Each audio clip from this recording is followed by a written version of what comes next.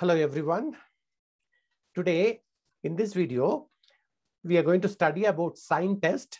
This is for sign test one sample. If you have not uh, subscribed to my channel, kindly do it. We'll quickly move on to the uh, video here. It is the simplest form of a sign test here. It is easy to learn. So first of all, we should understand what is a sign test.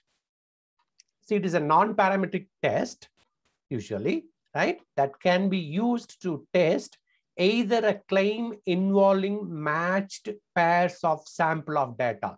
See, for example, I'm having a data called before and after a um, test. For example, I'm doing a test for a patient. Then I'm finding out a BP, for example.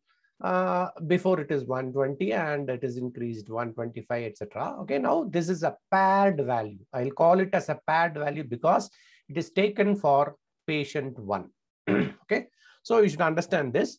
This is matched pairs of sample of data or a claim involving nominal data with two categories. There are two categories whether uh, this is better than that. I am finding out a claim.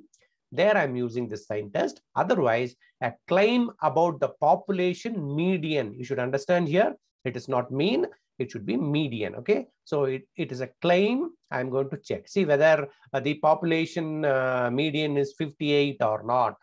See, suppose a population is there, okay? So the median of the population is 58, yes or no. I'm going to check it. Then uh, we call it as the uh, claim about population median against the hypothesized value. Now, this hypothesized value is nothing but the 58.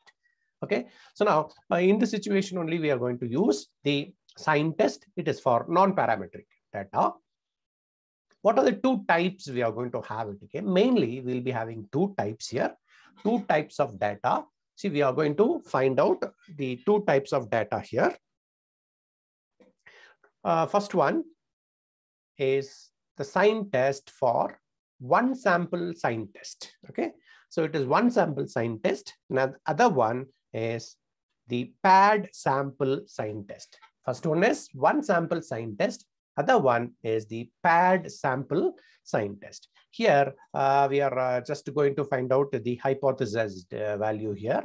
This is the first type. And here, either a claim involving matched pair samples so that is what is the paired sample t-test. Okay, I'm sorry, paired sample sign test here. Okay, right.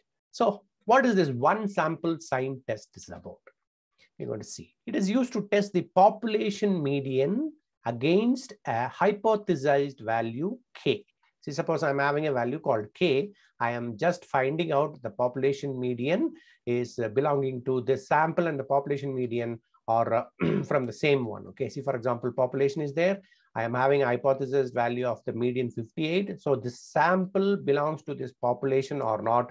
I'm going to check it in this one sample sign test.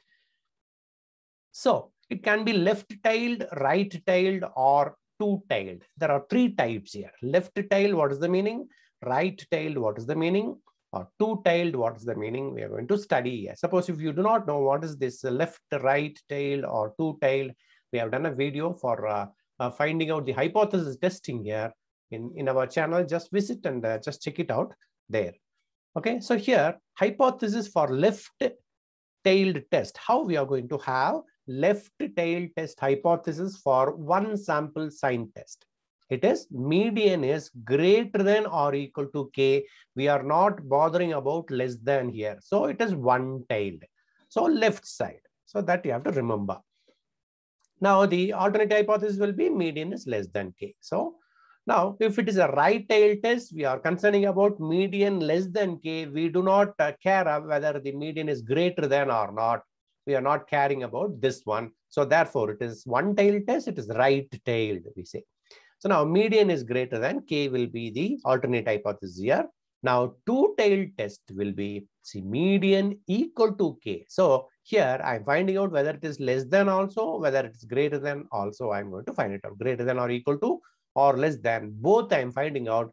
Therefore, it is called two-tailed test. So for one-tailed test, what is the value? How to find out from the tabular column?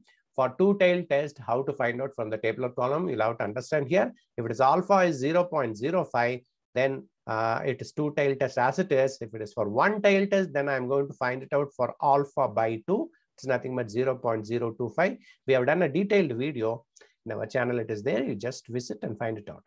Okay, so we'll move on to the sum now. Here, what will be the test statistics here? Now, let us suppose that we are having X. Okay, so I always call the test statistics as X is our test statistics and N as the sample size here.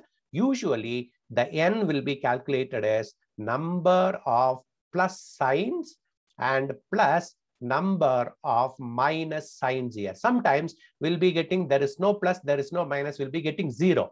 Therefore, I'm telling it's nothing but sample size here. See, whenever the value comes zero, we are leaving it and taking it. Okay, number of plus sign and number of minus sign. That will be your sample size here. Okay, so now here, if n is less than or equal to 25, then I'm finding out the x is the smallest of the number of plus and number of. Okay, suppose there are five plus signs. Okay, so uh, seven uh, minus sign, then five will be my uh, x value. So I have to take the smallest of plus sign and the minus sign values. Okay, number of plus sign is 5, number of minus sign is 7. So my x will be 5. Okay, you have to keep it in mind, whichever is the small, I'm going to take it. Suppose n is greater than 25, then I'm finding out the same x, but I have to use another formula to find out the calculated value. If n is greater than 25, then z is our test statistics. It is calculated by this formula. So x is equal to 5. I'm going to substitute here. I'm going to find out the z value. That will be my calculated value usually if uh, n is greater than 25. So we'll be having a software also to find it out. So we'll concentrate on n is equal to less than 25 for our manual calculation in this particular video. So what is this x? x is the smallest number of plus or minus signs. Okay, so whichever is smaller that I'm taking it. Number of plus sign is 5, number of minus sign is 7, then my x value will be 5.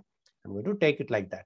So now n is the sample size I already told you. Number of plus and number of minus, I'm going to add it in uh, finding out the n. Okay, so, so here I'm going to have an example to show it to you. Let us suppose that the cost of visiting a physician. See, suppose there is a patient is going to visit a physician, okay, doctor, for example, doctor one, doctor two, doctor three, doctor four, and doctor five. Usually he, goes here and he's paying some amount here, okay. So what is the amount is paying here, okay. So that's what we are uh, going to take. So all the five clinics are charging same for the patient, yes or no, I'm going to find out as usual, right? So what is this actually? See, uh, five clinics is given under at alpha is equal to 0.01 because it is given in the sum alpha is equal to 0.01 my level of significance should be taken as 0.01 can we claim that the median cost is rupees 58 okay so all the clinics median uh, so, so middle value is 58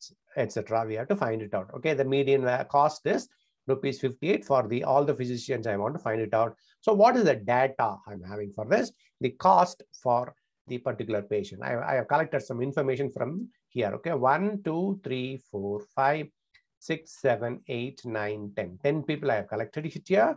So I'm just finding it out. Okay, so now uh, here I'm going to find out the null hypothesis. Median is 58. Okay, so now or here I can take it as 10 clinics also, nothing wrong in that. No, H naught is median is equal to 58. Okay, so whether the cost is 58 or not, I am just finding it out. Now, alternate hypothesis median is not equal to 58 I am having. So now what is my alpha here? Alpha is level of significance is 0 0.01. Okay. Now, how to calculate this? The values above 58. 58 is already given. My cost is 60, for example. I'm going to subtract this value. So what is my value which comes plus here? Now 57 rupees it is there. I'm going to subtract it 58. So I'm getting a negative sign. So I'll always take the sign. I don't want to take the number here. Okay, so 58 will be the subtraction of the number. Now 58 minus 58 is zero. So I'm going to omit this value. I'm not taking into consideration. 90, this is 90 minus 58. So it has a positive sign. 53 minus 58 will be the negative sign. 90 minus 58 will be the positive sign. 60 minus 58 will be the positive sign. 95 minus 58 will be the positive sign. 57 minus, um, 58 will be the negative. 45 minus 58 will be negative. 57 minus 58 will be 50 minus 58 will be the negative value. Okay, so 10 values I have taken it here. So I'm just counting on how many positive values. One, two, three, four. Okay, now plus uh, four values and one, two, three, four, five. Minus is equal to five values. So I am going to omit this value. So my n is equal to number of positive value 4, number of negative value is 5. So my n should be 9 and it is not 10 because we are leaving this 58 that's 0 okay so 58 minus 58 0 comes. I'm going to omit it. That's what you have to remember. So now my n will be 4 plus 5 that is 9 so i'm going to take the x value here minimum of these two. So minimum of 4 and 5 i should get x is equal to 4 now i call this x is equal to 4 as my calculated value here so x calculated value is 4 then from sign test table. Okay, so there'll be a table called sign test table. The critical value of x for n is equal to 9 here. Okay, so it is not 10, you have to remember. So it is 9 is equal to 3. So now I keep this as x critical value. So x critical is 3, x calculated value is 4. I have calculated. So as usual, I am going to compare these two. Okay, so now x calculated value is 4, x critical is 3. I'm going to compare this okay, x calculated is greater than the x critical value. So the null hypothesis is rejected at 5% level of significance.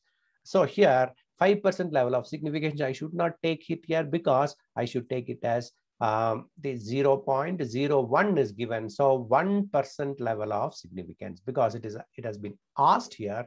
So Usually we take it as 5% level of significance. The null hypothesis is rejected at 1% level of significance. So therefore, what we are going to do is we conclude as 99% confidence. Okay, so now here you have to take it as 99% confidence that the median is not 58. So the cost is different in all the clinics. So that is what uh, the sign test is about.